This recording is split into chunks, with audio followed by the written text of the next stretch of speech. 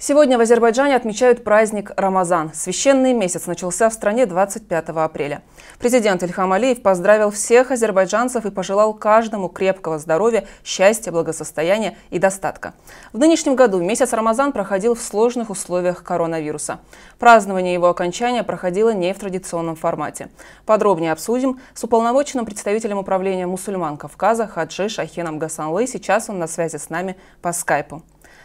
Здравствуйте, поздравляем вас с праздником. Приветствую вас и от всей души поздравляю э, весь ваш коллектив.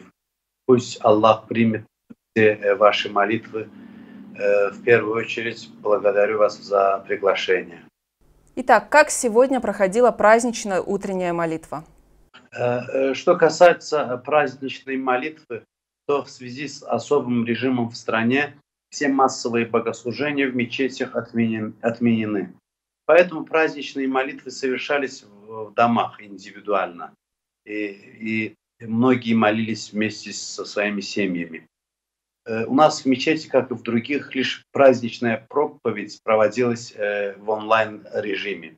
Конечно, все это непривычно, но необходимо. Мы должны беречь свое здоровье и жизнь, ценнейшие э, блага Э, Бога для нас. Многих интересовал вопрос выплаты фитры. Как следовало проводить этот этап священного месяца Рамазан? Э, знаете, фитру нужно э, выплачивать, начиная с праздничного вечера до полудня. Выплачивают все, у кого есть возможность. Размер фитры обычно определяется рыночными ценами на некоторые крупы, такие как ячмень, зерно, рис и другие.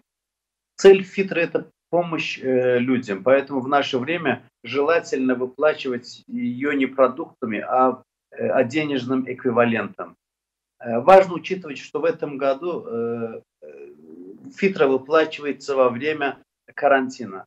Поэтому есть, э, если есть возможность, надо э, помочь, по, по, помочь людям больше. Поэтому для семей со средним достатком рекомендуется выплачивать закят в размере 10-15 э, манат на человека. То есть, если кто-то еще до сих пор не э, выплатил, может э, в этом в, дан, вот, в указанном размере выплачивать закят.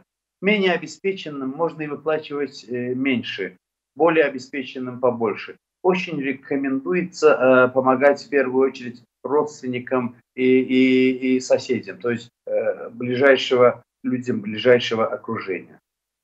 Известно, что после окончания месяца Рамазан желательно соблюдать пост еще 6 дней. Да, приветствуется держать пост в течение шести дней, но этот пост э, не обязателен.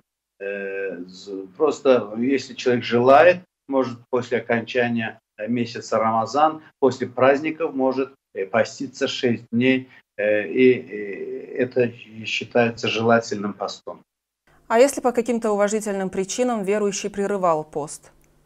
Да, он, он должен возместить все эти дни, э, и начиная с, э, с, вот, с завтрашнего дня буквально до э, следующего Рамазана он может э, держать пост.